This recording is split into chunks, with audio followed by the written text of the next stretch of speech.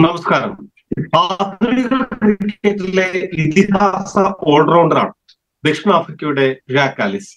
വിവിധ twenty twenty ലീഗുകളിൽ കളിച്ച് മികവ് കാട്ടി മാസ്റ്റേഴ്സ് ടി ടെൻ ലീഗിലെ പ്രധാനപ്പെട്ട താരമാണ്. കാലിഫോർണിയ നൈറ്റ്സിന് വേണ്ടി ആദ്യ മത്സരത്തിൽ തന്നെ മുപ്പത്തിയൊന്ന് പന്തിൽ അറുപത്തി നാല് റൺസ് നേടി കാലിസ് വിസ്മയിപ്പിക്കുകയും ചെയ്തു. കാലിസ് അമേരിക്കയിൽ നിന്ന് ഏഷ്യാനെറ്റ് ന്യൂസിനൊപ്പം ചേരുകയാണ് തത്സമയം. ബ്രാക്ക് welcome to Asianet news. Thanks for joining. Thank you. Your team started well, but some tough luck after that. Yeah, we did. Um, it was nice to get off to a good start. Um, but you know, that's the nature of this format. That um, you know, it's high risk, and you're going to have good days, you're going to have bad days. You know, hopefully we peak towards the back end of the tournament and, and win the, a few uh, games that are coming up now. Um, but yeah, we certainly got off to a good start. 64 of 31 in the first game. You haven't lost your touch, man. It was unreal to bat like that at this age.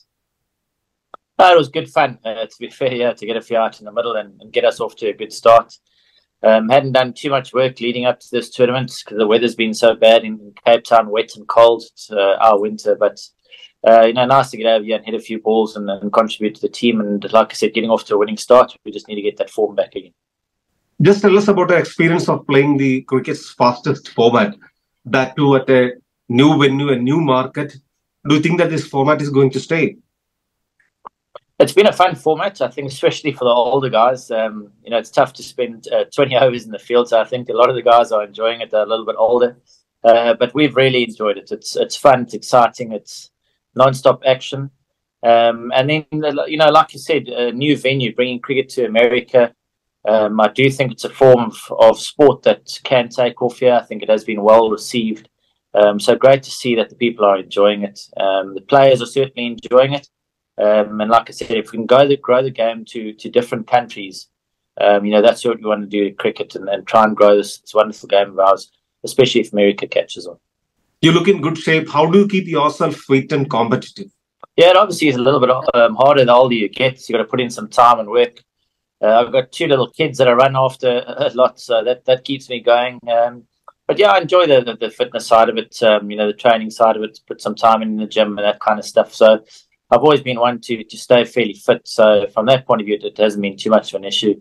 Um, you know, it, it, it's nice when you've got something to train towards, and you've got a few of these tournaments. Makes training a little bit easier that you're working towards a target to, you know, keep health healthy and fit, uh, which is good not only for sport but for for one's life as well. Finally, Jacques, these leagues give you an opportunity to meet up with all friends, and that must be an extra motivation when these leagues approach you. Oh, 100% to catch up with guys and reminisce about old games and all that. Um, it's great to see them and, and catch up and, you know, chat about those games. Uh, but the guys are still fiercely competitive. That's why they were so successful in their in their careers, and it certainly hasn't changed to today. Um, you know, the guys are still very competitive and want to win every game and, and want to perform. So, you know, it's still a fantastic environment to play in. And, and although we, we're catching up and telling stories at night um, amongst the teams, when it comes to, to walking on the field, it, it's certainly game face on. Thanks a lot, Jacques Kallis, for your time. All the best. Thank you very much.